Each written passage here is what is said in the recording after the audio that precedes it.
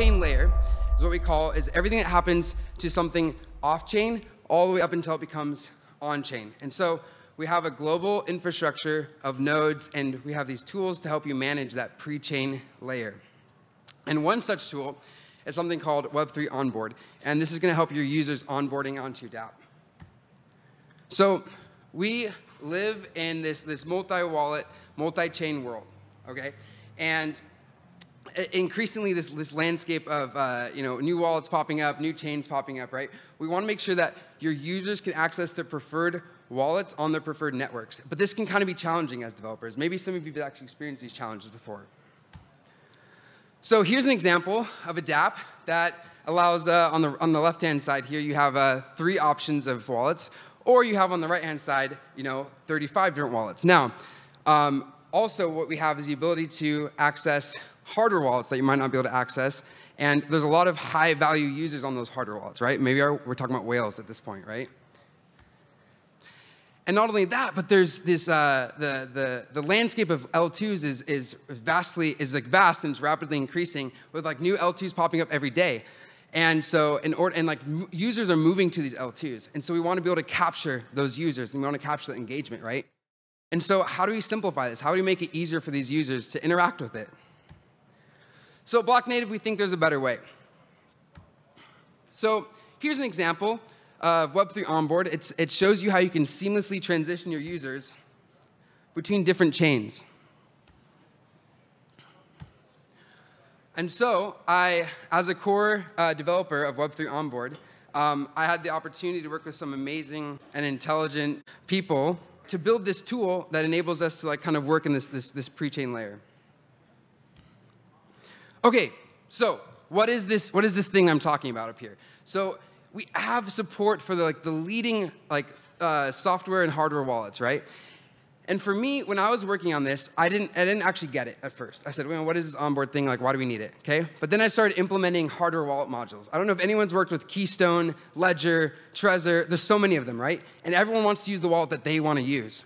But when I started like working on onboard, and building out the code that required, is required to like support these uh, hardware wallets, I quickly realized like this is something that I would never want to have to like deal with as a dApp developer. I want to focus on the core functionality of my dApp. I don't want to deal with this stuff. And it's like there's some really tricky stuff going there.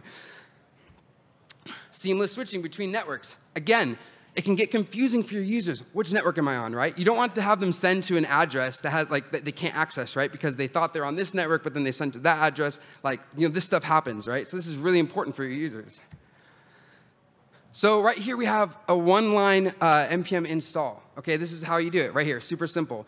And so this is the the onboard, uh, the Web3 onboard core. In the demo today, I'm going to show you the React hooks that we actually use. We have a demo in our, uh, our repo that's uh, in Svelte, and it can show you how to kind of use that without the React hooks. But uh, here's an example right here of how, how simple it is and how quick it is to integrate. Rapid prototyping. This is the, our React demo. It shows the full functionality of Web3 Onboard. Now, you, I encourage you to go there. If you can grab the link if you want, even go play around with it. But essentially, this is what we use for people to end up, uh, to go there and go and test it out and play with it.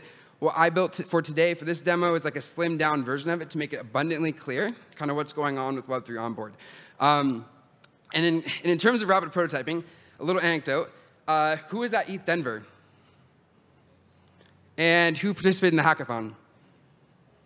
Nice, couple, couple people.